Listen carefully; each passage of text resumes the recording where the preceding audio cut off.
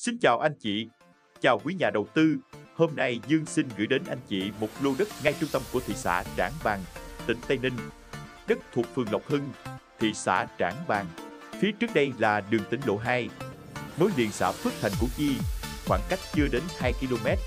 Đường tỉnh lộ 2 cũng liên thông các tuyến đường khác như DT 787 và liên kề chợ, trường học, quỹ ban. Đây, đây chính là vị trí mặt tiền đường nhựa đi vào. Đường nhựa có chiều rộng đến 8 mét nên đi lại rất thuận tiện. Dân cư hai bên đường cũng rất đông rồi thưa quý anh chị.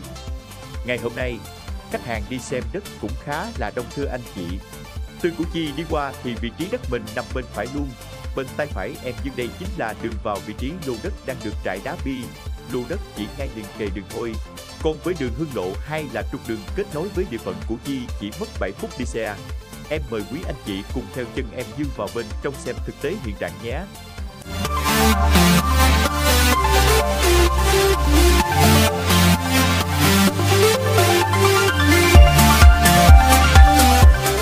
Và đây, phía tay phải em Dương chính là vị trí lô đất em đang bán đây. Vị trí này em có 8 lô nhưng hiện tại chỉ còn có 3 lô thôi nha quý anh chị.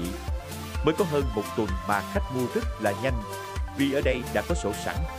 Ba lô đất còn này có chiều ngang là 5m và chiều sâu là 24m, có tổng diện tích là 120m vuông rất đẹp.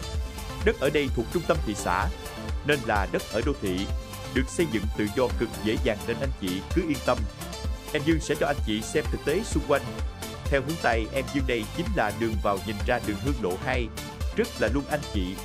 Đó xung quanh đây dân cư cũng ở rất là đông rồi. Đi ra chợ, Ủy ban nhân dân cũng chỉ mất có 5 đến 7 phút thôi. Còn nhìn phía trước cạnh sau ngôi nhà kia chính là trường học cấp 2 và 3 Lộc Hưng.